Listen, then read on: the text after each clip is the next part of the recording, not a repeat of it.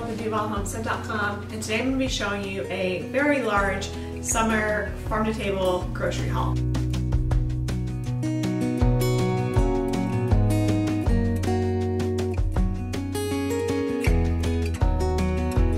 Before we dive into the farm to table grocery haul, I wanted to share an Amazon grocery haul that I recently wrote about on my blog at theduvallhomestead.com.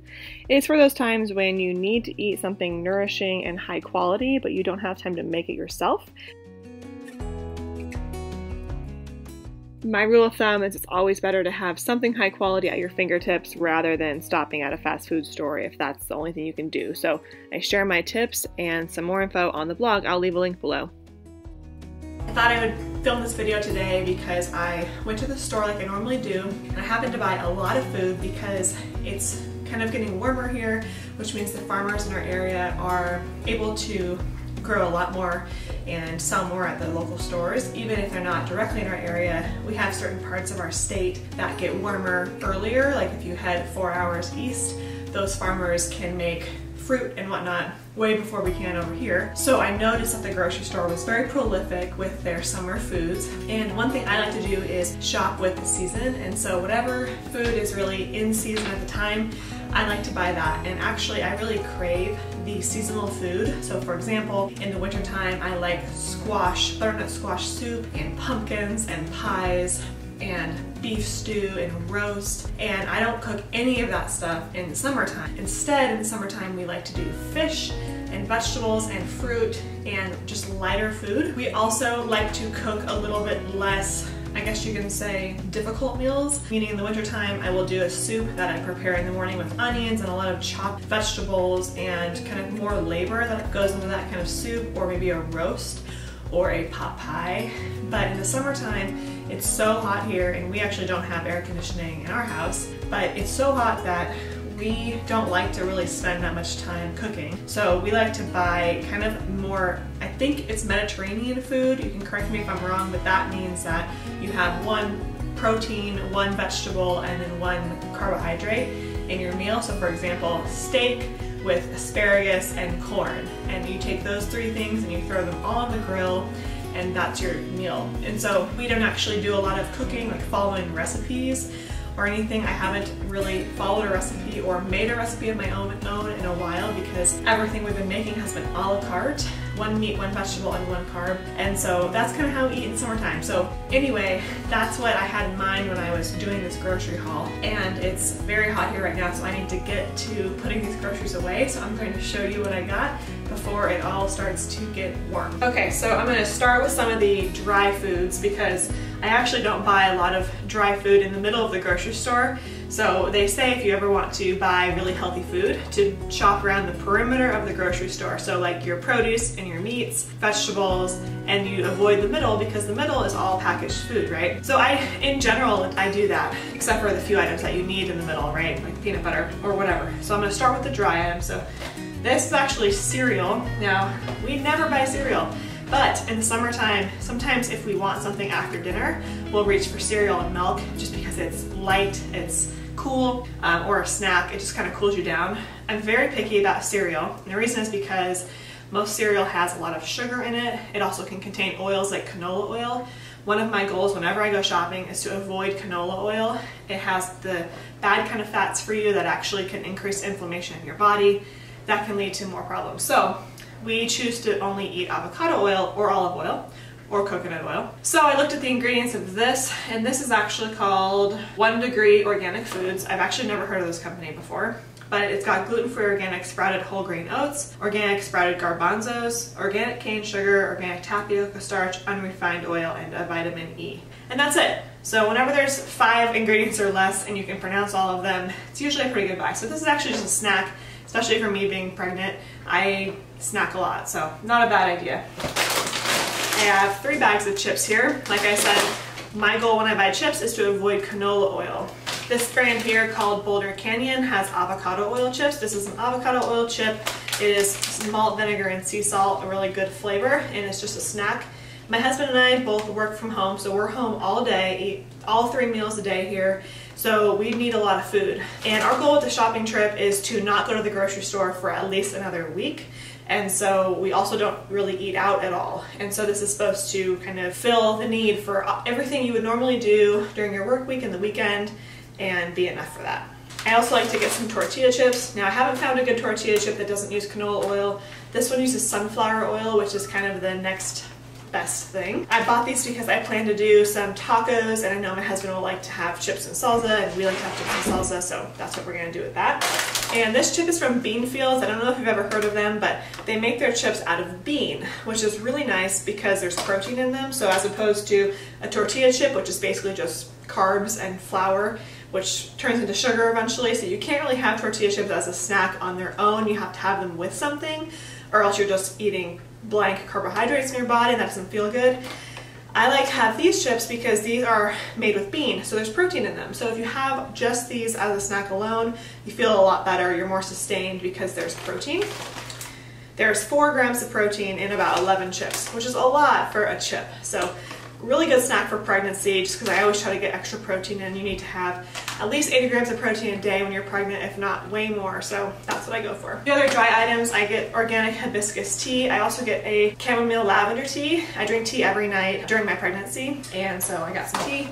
I got this pectin. This is my first time buying pectin. I plan to make some jams this summer and put them in jars and can them. So you need some pectin for that, so I'm excited to try that out. Another dry item are organic cocoa nibs. If you don't know what these are, they're basically raw organic cocoa and you can put them on yogurt or on top of smoothies and they're a little sweet but they're not artificially sweetened so it's just kind of a really fun way to spice up anything like cereal. It's kind of like a, something you could put in granola or something like that. We like to put them on top of our smoothies. All right, not many more dry items. Like I said, everything is so fresh right now, but these are little packets. They are probably baby food. They're from Peter Rabbit Organics, and I actually love them. So there's ma banana, mango, orange, strawberry, banana. They're a fruit puree, basically. This one is apple, pea, and spinach, pear, carrot, and beet, and apple, carrot, and squash. And the ingredients are just organic, pure apple puree for whatever fruit I just mentioned. And it's actually just a really great snack. So it's one of my kind of pregnancy snacks on the go.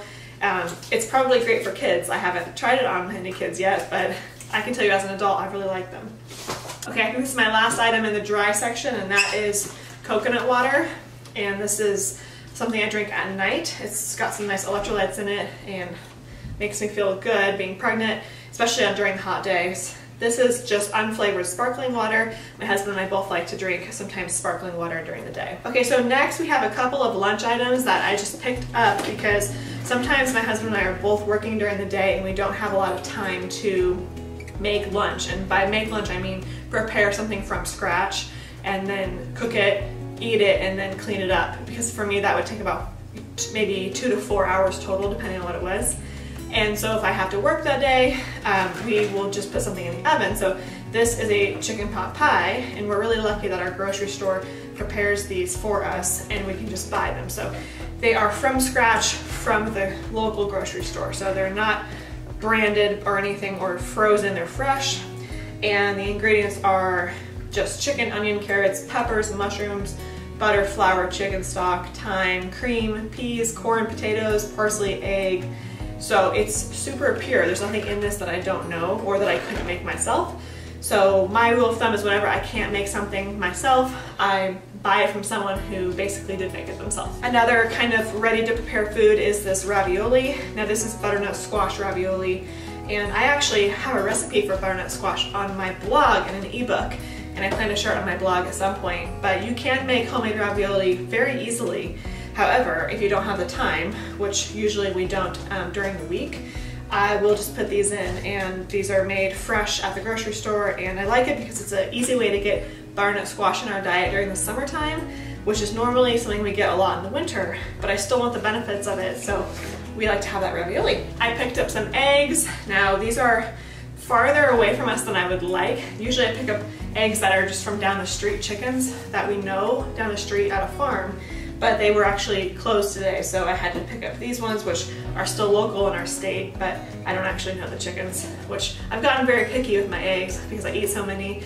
I really like them to come from chickens that we actually know. I have this milk here. We buy just lightly pasteurized milk and not the ultra pasteurized kind because I use this to make kefir.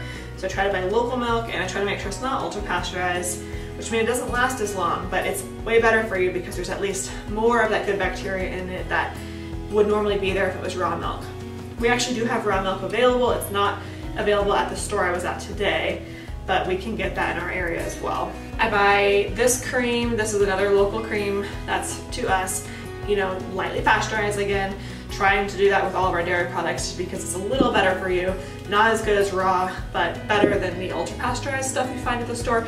If you ever see that your milk is good for like three months, if they say it expires in like two or three months, it's probably so pasteurized that there's nothing in that milk that is really benefiting you which is probably why a lot of people are lactose intolerant and whatnot because good bacteria is all washed away in the pasteurization process. So try to um, keep our food as pure as possible. I pick up this butter. I like to buy the Kerrygold butter. It is grass-fed from grass-fed cows. Pretty much only buy dairy products from grass-fed animals, cows. This is my grass-fed Greek yogurt. This is also something that we can make from scratch, but I just choose not to right now, especially in the summertime, because I'm just hot and pregnant, and I just really appreciate things that are already made if they are to the standard that I'm okay with. So this is what I eat before bed. We have yogurt before bed a lot for dessert or during the day as a snack or breakfast. I always buy a lot of lemons and limes because I love putting lemon in my water or my tea. We can make cocktails with limes or I can make a mocktail with sparkling water and lime. I buy a lot of avocados. In fact, these are gonna get really ripe because it's warm, so I gotta put them in the fridge, but we have avocados as a snack or I make guacamole. Guacamole is one of those things that I actually really don't like buying from the store because our guacamole is so much better when it's homemade. I buy these little tiny potatoes because at some point we'll do a roast chicken and I like to put the potatoes on the bottom of the chicken. I had to buy some more maple syrup. I got some honey and this is uh, local honey. Um, again, a little farther than I'd like. We can get honey from down our street, but it's just a matter of picking it up and I didn't have the time to stop there today, or at least I didn't. And so this honey's from a little farther away, but it's a raw unfiltered honey and I'm really happy because we can buy at our grocery store, we can buy all local stuff within a couple hours to us. And so, although ideally I would like to buy things from the farmers that are literally in our neighborhood, this is as good as I can get if I only have time to do one stop. This is new. This is a fig orange spread. I'm excited to try this. I might put this on pizza or, I don't know, toast. Have never bought this before, but figs were just sounding good for some reason. Um, I'm really excited about these. I found these yellow corn tortillas at the store now. I hate buying tortillas from the store because there's always canola oil in them and random ingredients and I, I can make tortillas on my own. I love making tortillas. The problem with making tortillas at home is you have to heat up your cast irons really hot. And when it is 85 degrees in our kitchen, the last thing I want to do is heat up cast irons hot and flip tortillas for an hour or half hour, however long it takes. So in the summertime, I cut the corner and I buy tortillas. Now, luckily I found these ones. These do not have any oil in them. They are just flour, basically the same ingredients as I would make them myself. So again, very thankful that I have a grocery store next to me that sells that kind of thing. I also got some salsa. This is random, but I got this Dr. Bronner's Baby Castile Soap because I'm gonna be making some baby soap products. We are gonna have a baby in a couple months, and so I wanna make sure I have any soap products I need and I will just make it myself with some pure Castile soap. So I've heard Dr. Bronner's is really good and so I'm excited to try that. Okay, so moving on to the produce section. This is really fun. I had some great finds today. So first, cherry tomatoes are always a good idea on salads, snacking, pizza. I got two bunches of beets. These beets look so beautiful and so fresh and I'm excited to make them. I'm actually going to share a recipe on my blog and YouTube channel about how to make beets. So if you've ever wondered how to make them correctly, I will be sharing that. I always pick up some herbs. This is cilantro. Oh no, this is parsley. Parsley and cilantro are pretty interchangeable for me. I like both of them. So I pick up either parsley or cilantro every week and I just play with it throughout the week. I got two heads of kale. This is our favorite salad. We have kale every night. I'm very picky about my kinds of kale. In fact, I'm going to be having a video, I think, in fact, I will have just posted a video, I think, before this video about how to cook kale flowers. We have a kale garden as well. So moving over here, we have asparagus. So again, I don't meal plan. I don't know exactly how I'm gonna make these and when, but I know that for every meal, we always have a meat, a vegetable, and then a side. So that's why I have all these vegetables so that we have options, whatever sounds good. So I got a zucchini, asparagus. These are all items that uh, my husband John can put on the grill, but if he doesn't, you can also put them in the oven. So we kind of switch off between doing that, but when it's so nice out, we like to just grill because then we can eat outside and it's just so much nicer. Okay, I got a whole bunch of fruit.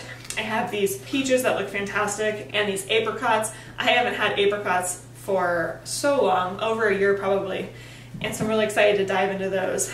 And anything we don't finish fruit wise, I always buy a lot of fruit because if you don't finish it, you can just put it in the freezer as the black bag and then put it in your smoothie. So we make smoothies with fruit in the morning anyway, so bought all this fruit.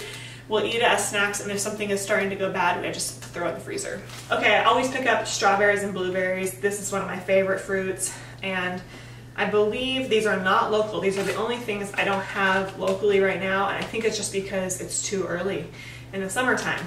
So once these are local, we'll be buying them as well. But in the meantime, these are organic and they are really good. So we buy them. I got a bag of snap peas. These are so fun to have as snacks and put on salads. Again, cool food. The theme for this shopping trip was keeping cool because it's so hot here right now. Moving over here, I have a bundle of carrots. One thing I love about carrots is that they just don't go bad for a long time. So I'll keep these in the fridge and put them on our chicken or have them as snacks. I always buy a few apples and I change the variety every time I go to get different kinds of apples. Apples aren't technically in season until later this fall, but um, I like to eat apples because they're so healthy for you and so we put them in our smoothies and have them as snacks. if you notice a pattern, it's smoothies and snacks. Um, I got three pears, which is something that I don't normally get. But pears are very nutritious for you. Again, something I can chop up and put in smoothies or have as a snack. My mom always told me when I was a kid to eat different colors of the rainbow. And so I always, when I'm shopping, I think, oh, look, that's purple, let's get that. Or that's red or green, yellow. And so I think it's important to have a big variety of food. So over here, I'm gonna show you some meats that we got. We got two packages of salmon. Salmon is finally becoming in season here, which is one of our favorite things to eat.